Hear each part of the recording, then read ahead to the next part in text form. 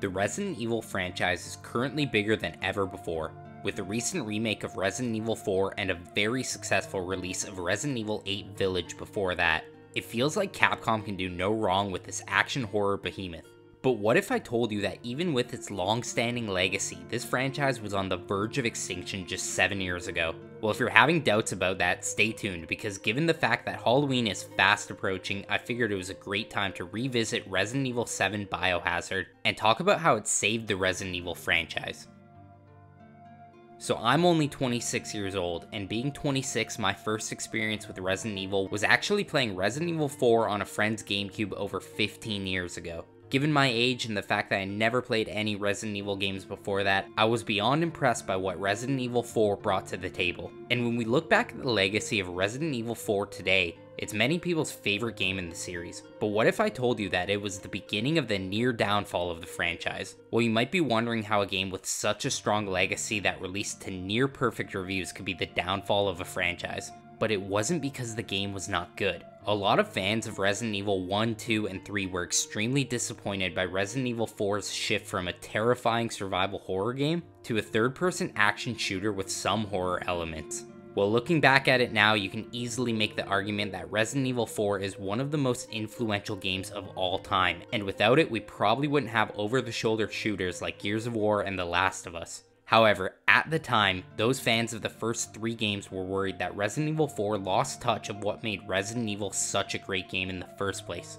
Though quite dated by today's standards, the first three games in the series are strictly survival horror games with a lot less action. Now, I believe this is because of the hardware limitations of the PlayStation 1, which required all of those games to have fixed cameras. And with these fixed cameras and a lack of a modern controller, navigating combat can be extremely difficult. This means that Resident Evil 1, 2, and 3 all focused heavily on managing resources and avoiding combat when possible. While resource management is still somewhat important in Resident Evil 4, once you master the controls, it's fairly easy to just fly through the game landing headshots on everyone. Combine this with the fact that you can upgrade your weapons to the point of feeling tanky, and you have a recipe for a solid action game with some small horror elements rather than the other way around. While the near perfect reception of Resident Evil 4 may have felt like it proved those old school fans wrong, unfortunately the next few mainline releases showed that they were in fact correct. With the release of Resident Evil 5, it was clear that this franchise was struggling to maintain its identity, as this game is strictly a co-op third-person shooter without any real horror elements. And to clarify, I think Resident Evil 5 is a good game, albeit not very memorable. I just don't think it was a good Resident Evil game. Unfortunately, the same can't be said about Resident Evil 6.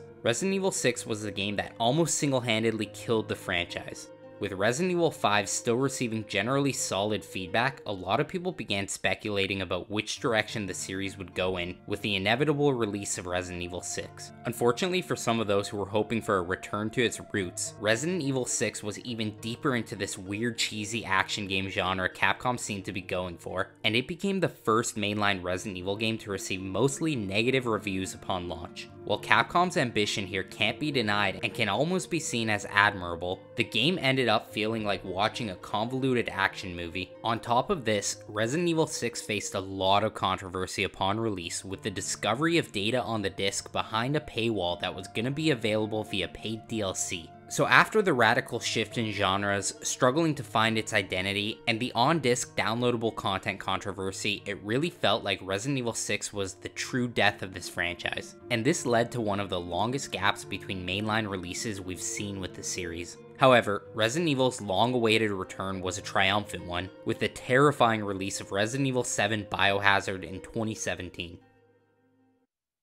Resident Evil 7 is exactly what longtime fans of the series wanted, a return to genuine horror with some modern action elements. The third person over the shoulder camera was ditched in favor of a first person view, solidifying the immersion that this game brought. By this point, you probably somewhat already know the plot, but to summarize, you play as a new character to the series named Ethan Winters, who finds himself searching an abandoned estate for his wife Mia. The Baker family, who owns the abandoned estate, ends up capturing Ethan, leading you to being locked up in their house and witnessing some of the craziest stuff I've ever seen in a video game. Now, I'm not going to go over the entire plot as I think you should visit this game yourself if you haven't already, but the horror elements really carry on throughout the entire game, with the only somewhat weak point being the last chapter. And that last chapter, while being a little bit subpar, is rectified with multiple choices and a proper resolution that ties you back to Chris Redfield from the original Resident Evil. So, just how did Resident Evil 7 Biohazard save the franchise? Well, it wasn't just this excellent game returning to its horror form. Resident Evil 7 was the first game to use Capcom's in house RE engine. The game was praised for its graphics and solid responsive feeling controls, and the success of it also proved the success of the RE engine. Capcom took advantage of this by using that same engine when developing the also very successful Resident Evil 8 Village, and the remake of classics Resident Evil 2, 3, and 4. Doing this led to those older titles being brought up to modern standards, and all of those remakes were extremely well received upon release. What I like most about all of these remakes is they were clearly done with the longtime fans in mind.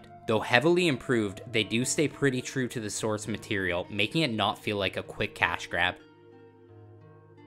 So what's next for the Resident Evil franchise? Well, the remake of Resident Evil 4 came out just earlier this year to near perfect reviews across the board, and it's actually in Game of the Year contention. Resident Evil 8 Village is still flying high from the release of its downloadable content featuring a third person mode, so honestly, Capcom has a lot of potential options here. If they choose to release Resident Evil 9 as sort of a trilogy with 7 and 8, it's likely to do very well, and if they do take the remake route, I would love to see a version of the first Resident Evil without a fixed camera. But whatever they choose to do, let's just hope it's not a step backwards with a remake of 5 and 6, as maybe some things are better left as a reminder of how close this now healthy franchise once was to being completely destroyed.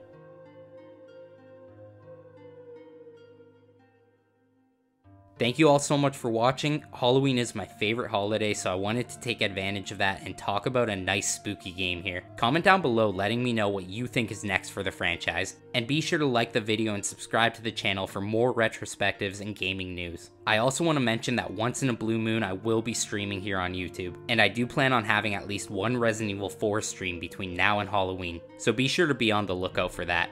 As always, take care guys, and I will see you in the next one.